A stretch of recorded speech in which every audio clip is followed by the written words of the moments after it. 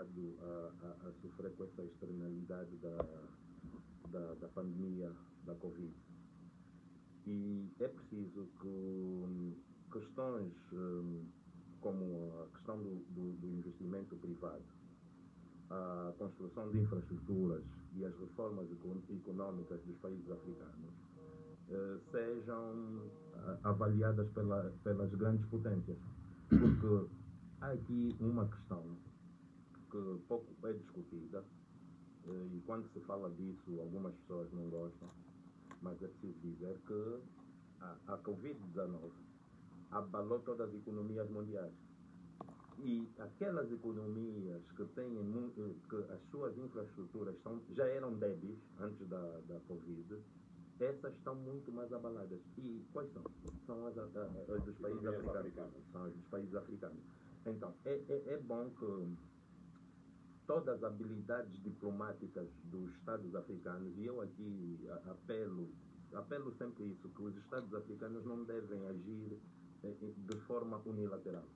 Devem agir em bloco. E todas as habilidades diplomáticas dos Estados africanos devem estar a serviço desse, desse, desse encontro no sentido de retirarem desse encontro duas questões fundamentais. A primeira é que devemos conseguir nesse encontro, nesse encontro porque França é das oito economias mais fortes do mundo, está na, na comunidade europeia, devemos uh, uh, fazer uh, advocacia e tentar retirar dali duas questões. A primeira é tentarmos ao máximo ir buscar a questão da vacinação para os países africanos, a vacina contra a Covid. Porque se nós não conseguirmos vacinar numa escala maior a nossa população, será difícil abrir as economias.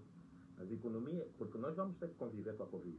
E as economias só, só, só serão abertas se nós conseguirmos garantir que a maior parte da população seja seja vacinada. Este é um assunto que também vamos falar mais lá para frente, já que falaremos eh, também da Covid-19, do novo decreto presidencial que traz as novas medidas de exceção. Esta viagem do Presidente da República à França para esta cimeira com vários chefes de Estado do continente é, um marco de que, de facto, o, continente deve partir em bloco eh, não só para a assunção da sua identidade e das suas economias, mas também em busca de parceiros que podem realmente eh, melhorar eh, as nossas economias, que também agora abaladas pela situação pandémica. Que olhar é que tem deste encontro que junta vários chefes de Estado da África e, no final do encontro, Emmanuel Macron vai fazer o pronunciamento público com Félix Tshisekedi. Bem, mais uma vez eu agradeço o convite da MFM dizer que é a segunda vez que o chefe de Estado angolano vai à França, desloca-se à França, desde que chegou à presidência da República de Angola. O Tony Fance fez uma pergunta se esta cimeira conjunta das lideranças africanas eh, procura buscar a identidade. Penso que é isso? identidade. Sim, esta é a nossa assunção daquilo que são os aspectos do continente, as nossas particularidades nem sempre uh, estão Sim. alinhadas com os é. interesses das entidades multilaterais e dos países, uh, principalmente das potências colonizadoras. Bom, eu penso que a cimeira é bem-vinda. É bem-vinda. Uh, juntou várias lideranças africanas na capital francesa. E eu gostava de destacar a presença do presidente do Ruanda, do presidente da África do Sul, enfim, entre outras entidades, o Ruanda e a África do Sul, porque são das economias uh, ligeiramente estáveis, o Ruanda com desenvolvimento aceitável, e portanto eu penso que até certo ponto é bom que as lideranças africanas se juntem na capital gaulesa, no sentido de consertar e buscar experiências. Agora, falar da identidade, busca da identidade econômica, eh, aí já partimos de um princípio, de uma premissa errada porque, veja, as lideranças africanas no seu todo deslocaram-se apenas a um país.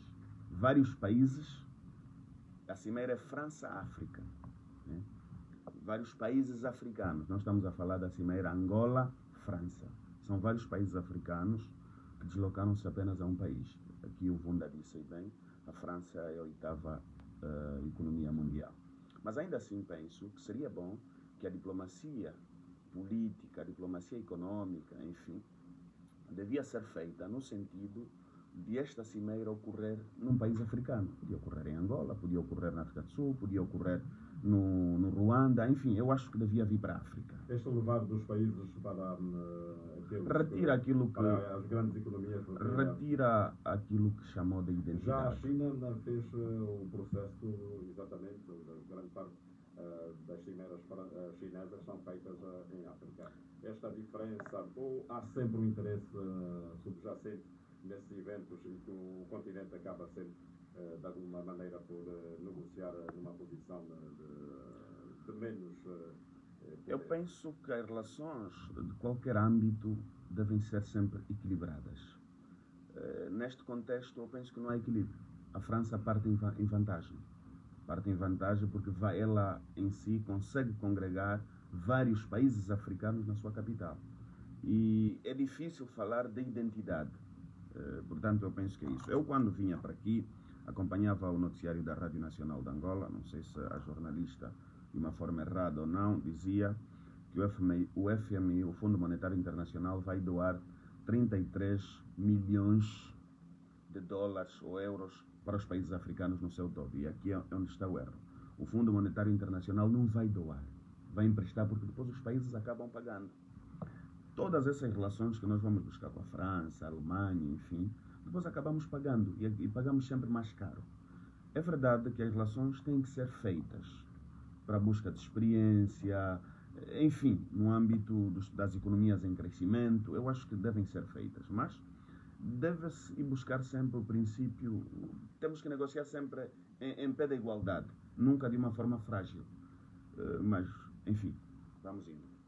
A agenda indica, por exemplo, que um, o evento vai decorrer em duas sessões, um, todas no período da tarde, portanto, mais logo. A primeira reservada ao financiamento externo e tratamento das dívidas, e a segunda ao setor privado africano, reformas e infraestruturas. Eu, eu, eu, dizia que havia duas questões importantes e falei da questão de mobilizar eh, eh, simpatias para que a África conseguisse eh, eh, vacinar a sua população, mas a questão da dívida também será abordada uh, com os países. E aqui, a dívida africana é bastante e, alta, mesmo com a França. E aqui é pedir tentar eh, as, as, habilidades todas dos países africanos para pedir uma moratória em relação ao pagamento da dívida. E o Equipe disse dívida é dívida, tem que se pagar quando se pede um empréstimo, mesmo que haja moratórias, é para eh, não ser agora, não é? No momento em que nós estamos com essa crise, pandemia, que os países têm que pagar, mas podem pagar daqui a 4, 5 anos. Isso é, é negociável. E tem que se negociar e tentar, é, é aquilo que eu dizia, a habilidade diplomática dos nossos países africanos.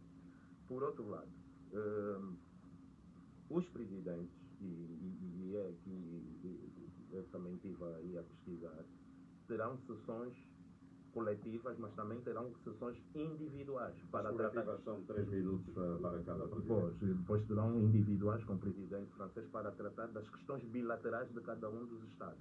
Acho que é uma boa oportunidade, porque nós temos estado a constatar e não podemos fugir disso. A, a pandemia veio.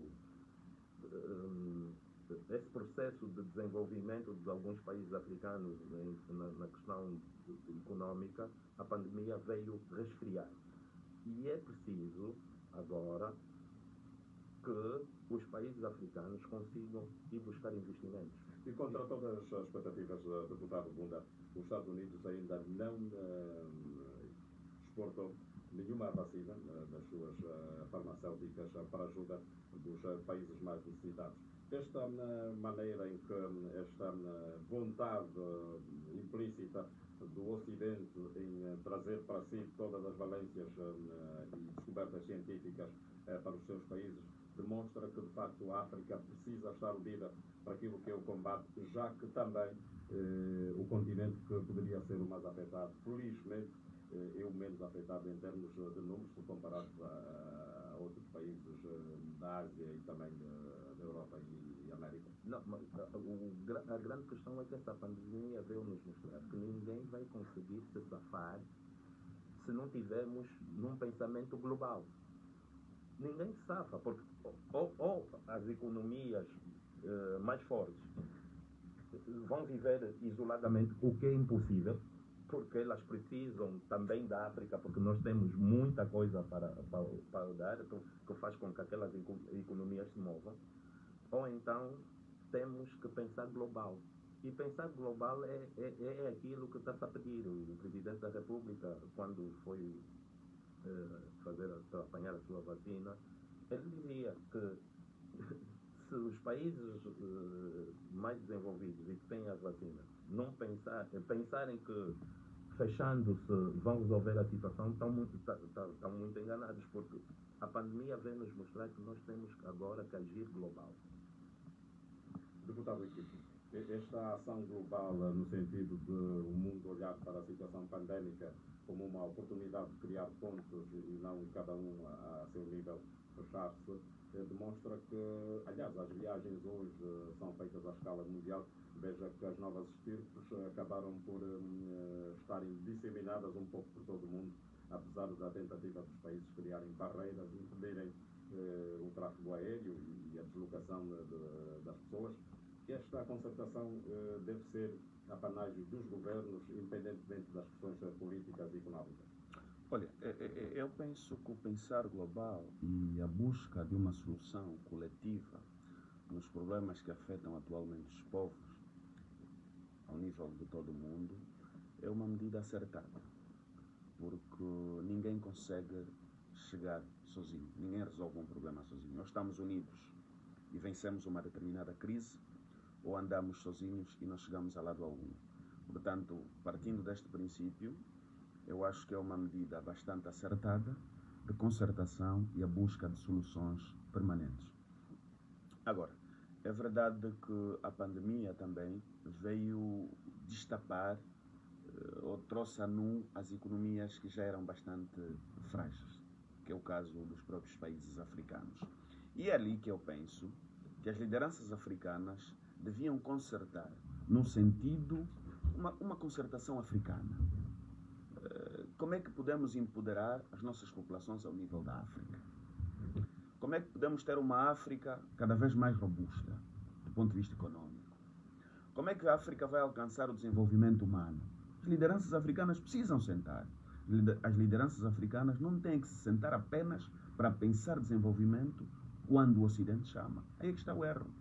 Eu penso que aí é que está o erro. Não custa nada Angola, África do Sul, Ruanda, entre outros países, sentarem-se e buscarem uma solução africana. Porque nós temos que, temos que, temos que chegar lá. A África, infelizmente, e segundo Franco Fanon, a África alcançou apenas a independência política. Até hoje a África não alcançou a independência econômica. Os povos africanos ainda são dependentes das grandes potências. Os grandes.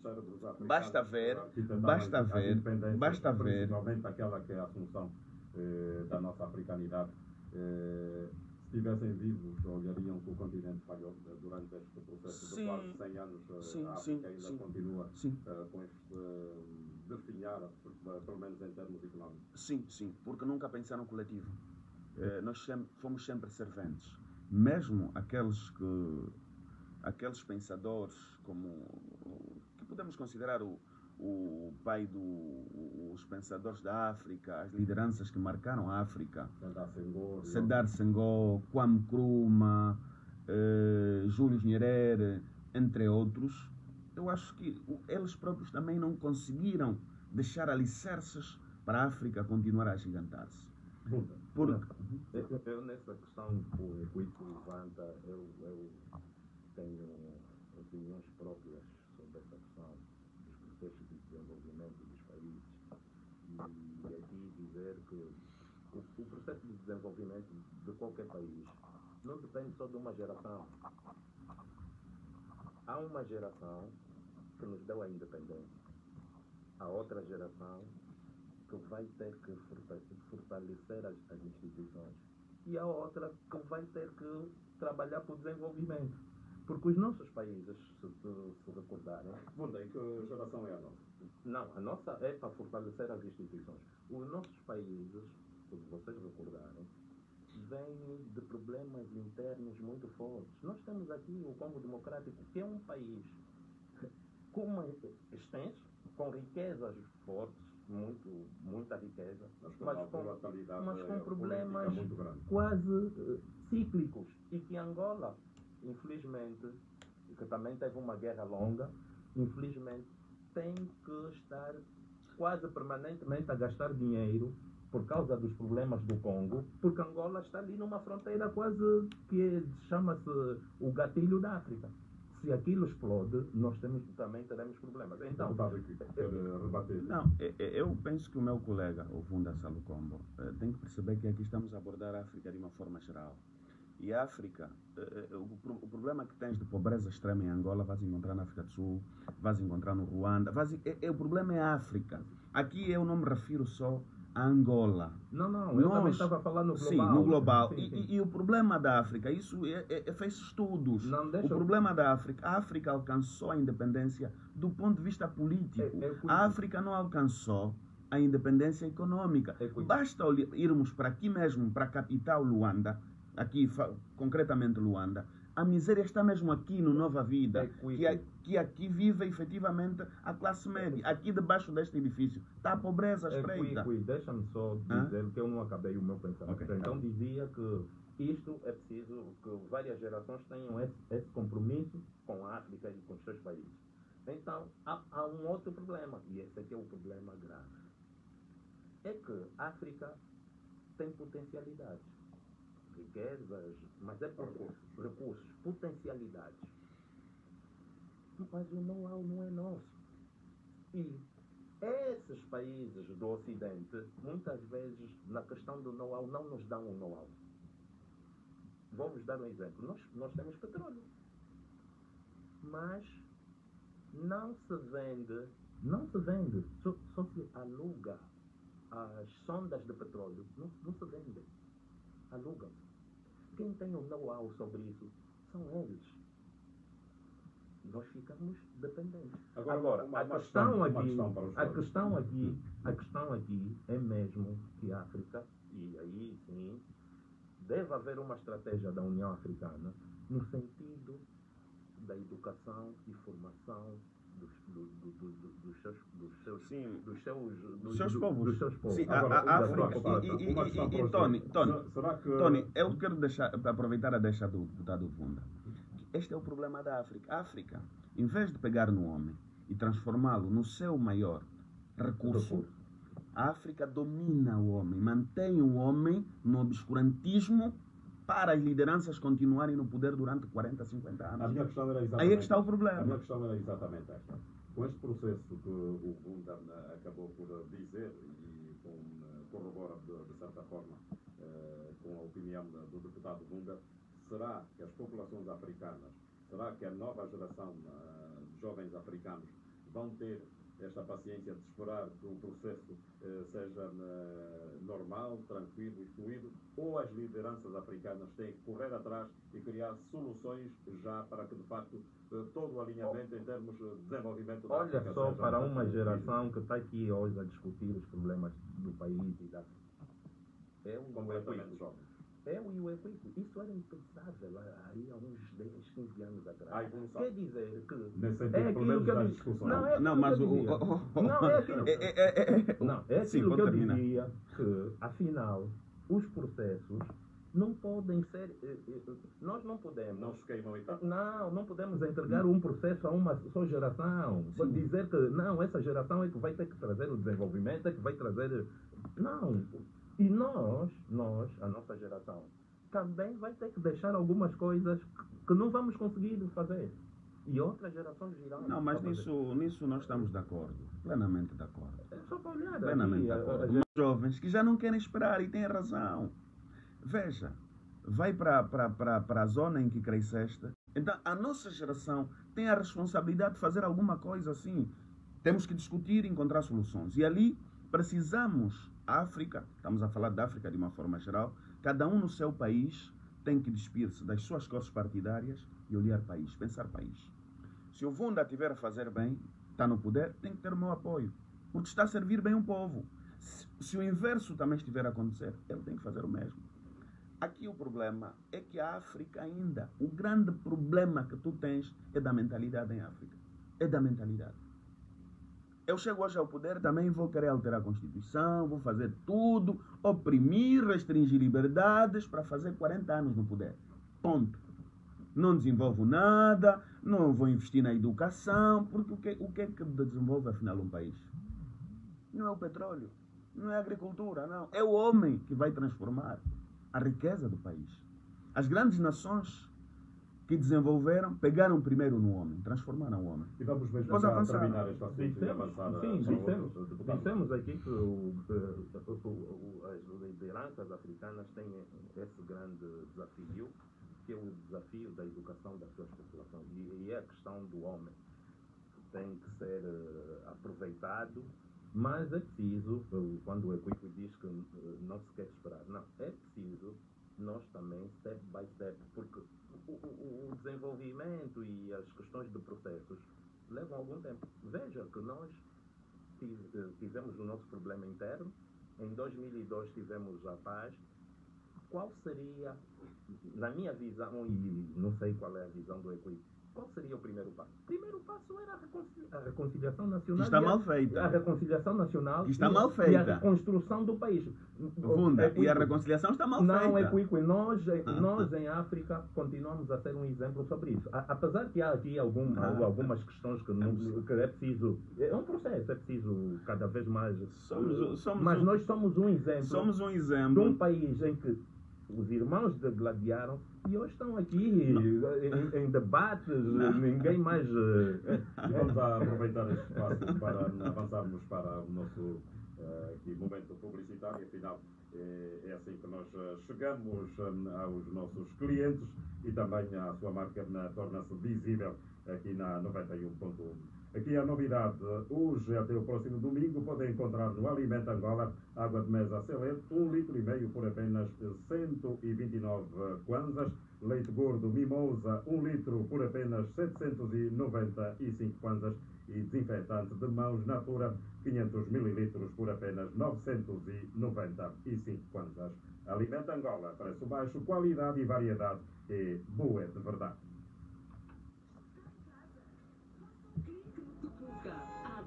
Pode fazer as suas compras no Alimento Angola. Com É uma pouco coisa segurança incrível,